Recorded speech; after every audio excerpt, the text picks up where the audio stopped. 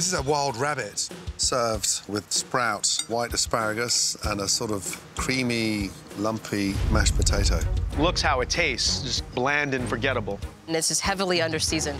I'm lost for words. The mashed potato is awful. The makers of a great dish, excuse the pun, but a rabbit in the headlights.